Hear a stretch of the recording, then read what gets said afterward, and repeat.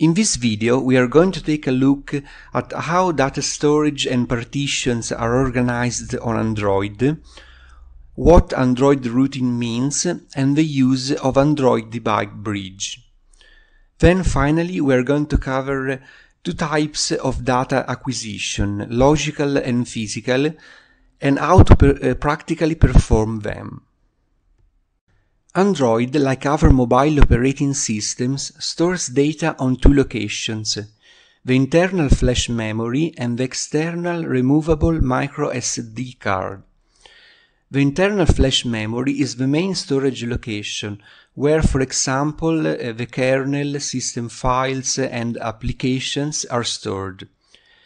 The external storage is mainly used to store user data like images, videos and so on, but can also contain user applications.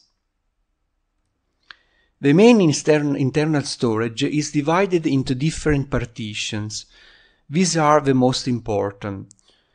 The bootloader partition is where uh, the, the bootloader that is responsible for initializing the device and booting the kernel resides. The bootloader is analog to the BIOS uh, on Intel system. The boot partition stores the kernel and the files necessary to boot uh, the device, while the recovery partition contains the recovery image, a minimal Android system used uh, for recovery, backup, and for installing custom ROM. The system partition is where the Android framework and system libraries uh, are stored, while the data partition contains uh, the uh, user applications and all related data. The data partition uh, is where uh, the most relevant data for a forensic investigation are supposed to be found. Standard users on Android are only allowed to access specific directories on the data partition and cannot access the other partitions at all. To be able to access all the partitions and data on an Android device, we must obtain the root permissions. Root is the superuser account and is analog to the one on Linux and Unix systems. This is not a surprise, given that Android is derived from Linux. The procedure that allows um, a normal user to become root is called rooting. To root a device, it is normally necessary to unlock the bootloader, because manufacturers generally lock it to prevent users from tampering with the firmware. The procedure to unlock and root a device greatly varies from model to model, so we don't cover it here. A very useful resource is the XDA Developer Forum. In this video, we assume that the device we are going to image is already rooted, and therefore we have full access to its storage. To communicate with, access and control an Android device connected to uh, an USB port of our forensic workstation, a precious command line tool is the Android Debug Bridge, which is part of Android software development kit that comes pre-installed on Kali Linux. The Android Debug Bridge has many options and allows us, among others, to list the devices connected to our computer, pull and push files from and to the device, execute a shell and install applications on the device. If the device we are connecting is turned on and running, we must enable the USB debugging option for the Android Debug Bridge to work. To do so, uh, we must go uh, on the device uh, in uh, the settings and developer options. We should not image the device when it's turned on, because the Android operating system and the applications are always modifying data when it's running. The most sound forensically method is to boot uh, into the recovery mode, in this way, if the device screen is locked and we can't enable USB debugging, we can overcome this issue and use the Android debug bridge the same.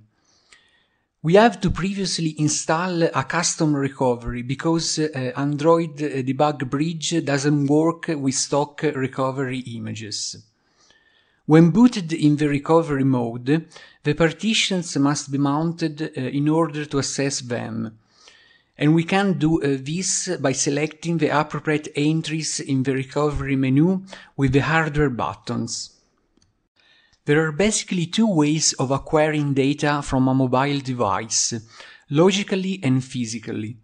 Logical acquisition involves the copy of all or specific files and directory at the file system level, as we would do when making a backup. Physical acquisition involves copying the device storage bit by bit at a raw level, as we have already seen in the previous video when imaging the hard drive. Now we are going to see both types of acquisition. The first step is to connect uh, the device uh, to an USB port of our forensic workstation and then boot uh, the device into the recovery mode. To communicate and execute the commands on the device, we use, uh, as said before, the Android Debug Bridge. To check if a, if a device is recognized, we run the command adb devices. The output should look like this, with the device ID and the state as recovery. To spawn a shell on the device, we execute the command adb shell. If the device is rooted, the shell should begin with the symbol hash like this. Since we have root permissions, we could list all the directories on the device. We could list, for example, the contents of the directory data data.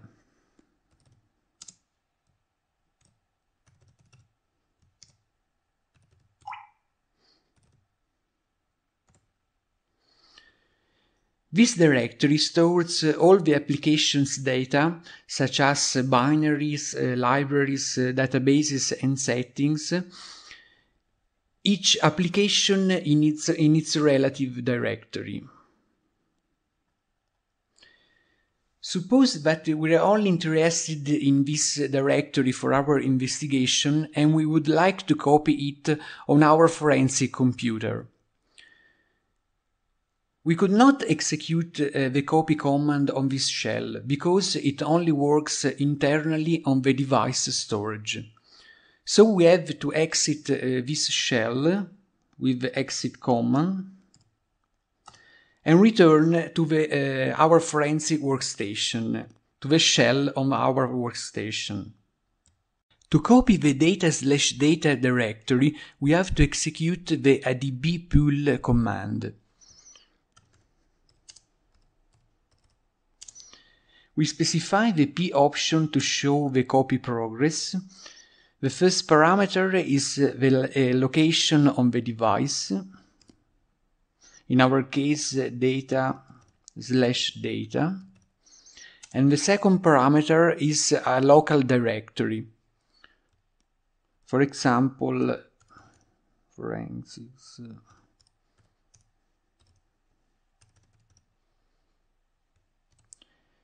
We execute the command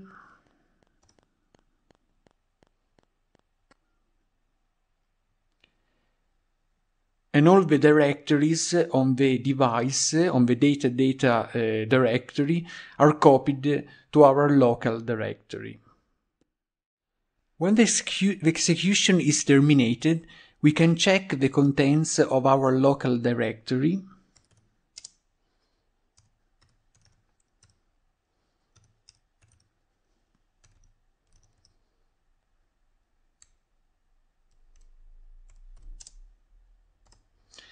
and see that all the directory on the uh, data slash data have been copied. If you wanted to copy uh, the entire directory tree, we would uh, execute uh, the command with the uh, first parameter uh, slash instead of data slash data.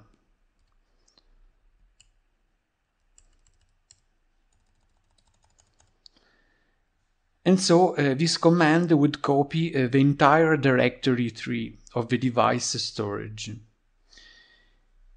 For more information about uh, the Android Debug Bridge and its various options, please refer to the Android Debug Bridge user, uh, official user guide.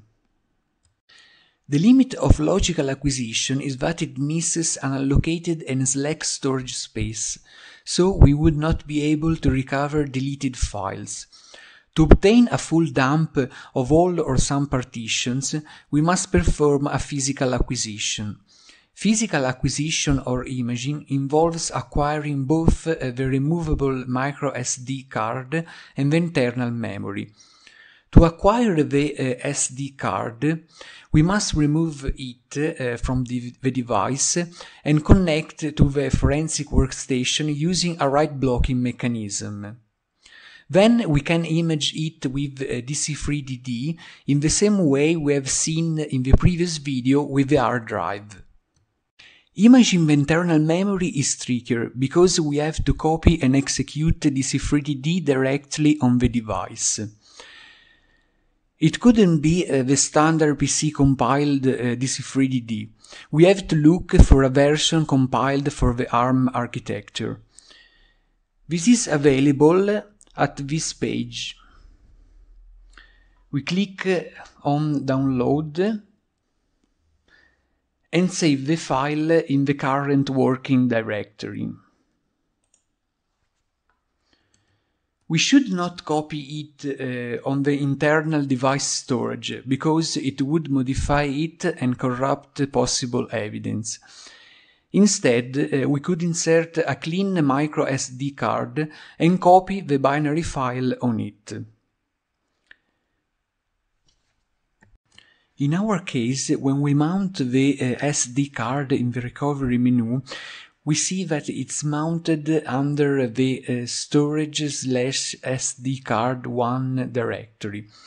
So we, exec we execute the command push dc3dd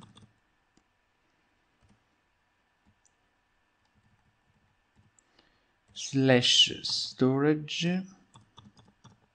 slash SD card 1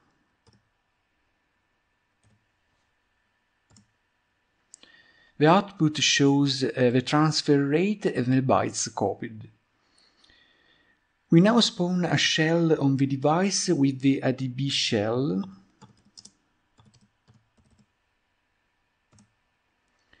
We have to identify the input for DC3DD to image. Remember that DC3DD doesn't accept directories as input, but block device files. On Android, these device files are associated with partitions. To list all the block device files, we execute the ls dev block command. The whole internal flash memory is associated with the mmc block 0 device file and all the files with the same name uh, followed by a P and a number represent the various partitions. To image the entire internal memory, we first move into the storage SD card 1 directory and then execute the DC3DD tool. Before doing so, we have to remount the SD card to run DC3DD as by default Android mounts SD cards uh, with no exec option, but doesn't allow to run application from SD card itself. So we run the following command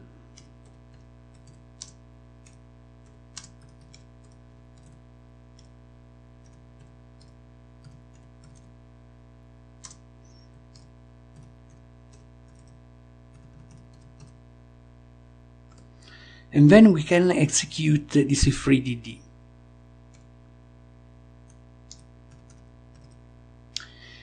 We specify as the input file the device file associated with internal memory, that is dev block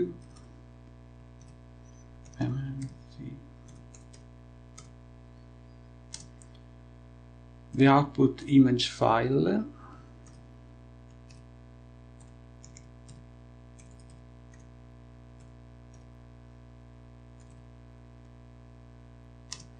The hash option. And the link file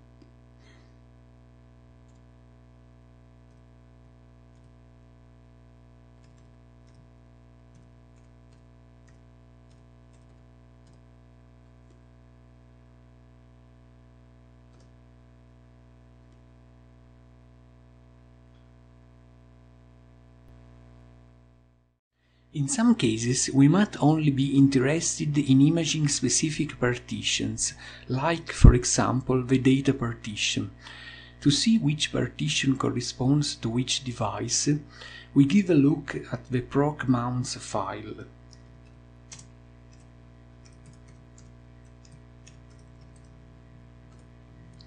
As we note, the data partition is associated with this device file.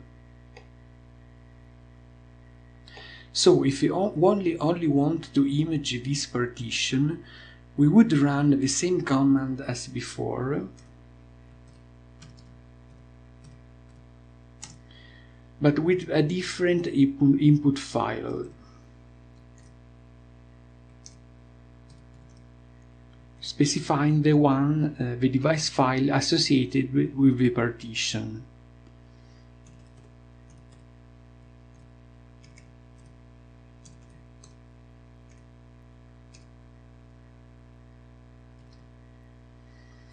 And the rest of the command is the same as before.